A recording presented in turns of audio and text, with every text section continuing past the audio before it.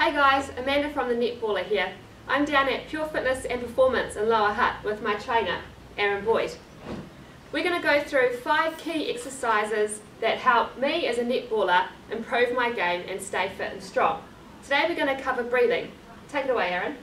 Awesome, thank you, Amanda. Um, so, with breathing, essentially 90% of us in the Western society breathe wrong, so it's not just netballers.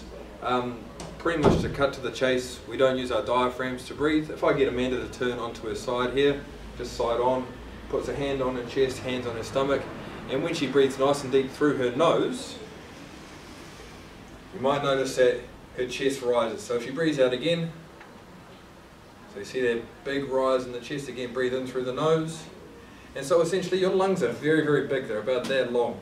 So she's using the top third of her lung to breathe, there's all that extra space. Utilising that space is going to help with um, court, you know, competition, so obviously maintaining breath and um, what do you want to call stamina throughout your entire game.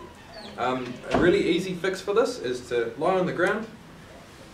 So what we're going to do, have Amanda here on her stomach, head is on her hands. She's going to breathe in through her nose and out through her mouth. Now, the area that I'm focused on as a trainer is this part here. So if I put this ball on here, just to give you a representation, if she breathes in through her nose, she's going to feel her stomach push out against the ground. You see that ball rise up nice and high.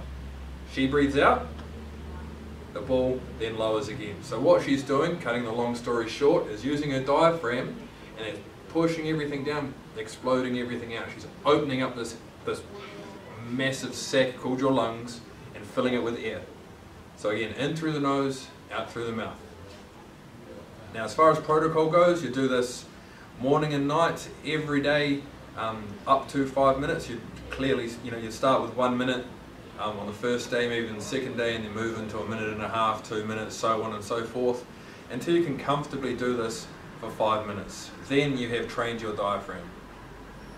So if I get Amanda now to stand up, and so this would be, you know, within the second to third week, you'd probably do a retest. If you get your hand on your chest and hand on your stomach, and you breathe in, we should probably start to see her hand, see that pop out there, as well as that's coming up nice and high. So now she's using the full capacity of her lungs.